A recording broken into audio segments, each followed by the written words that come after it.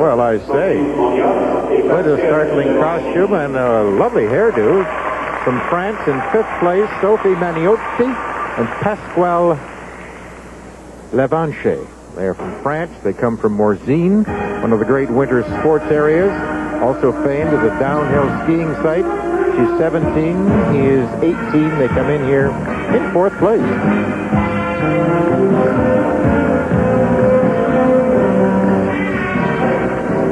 She's absolutely exquisite to look at. She has a beautiful face, a lovely body, perfect dancing body.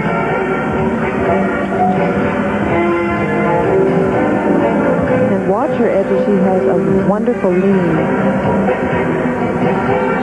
I noticed that in the OSP in their dances.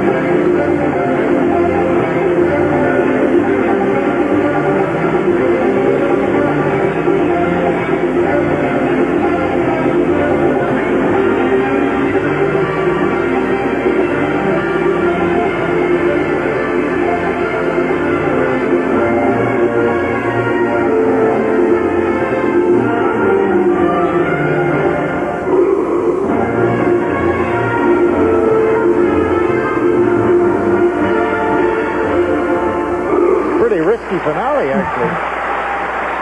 I really like the street dance. I thought it utilized their personalities. There was good choices of music. It was peppy at the beginning, at the end, and very passionate in the middle.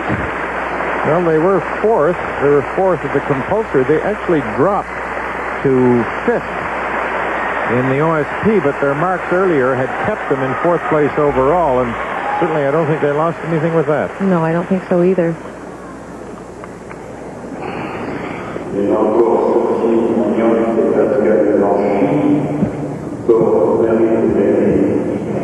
Our sports competitor. Marks come up very quickly in the dancing competition. There's little consultation amongst the Well, judges. I think that the results are pretty well understood. It's much slower in some of the singles events.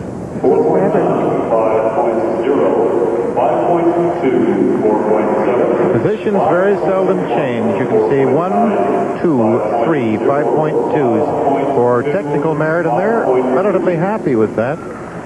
They're happy with the whole thing. They seem Well, they perform very well. enjoying themselves. Et donc pour compétition artistique, for artistic impression. She's absolutely gorgeous. Marks now for artistic impression, and they are higher for the French couple. 2, 5.0, 5.2. Godfrey of Canada still to come.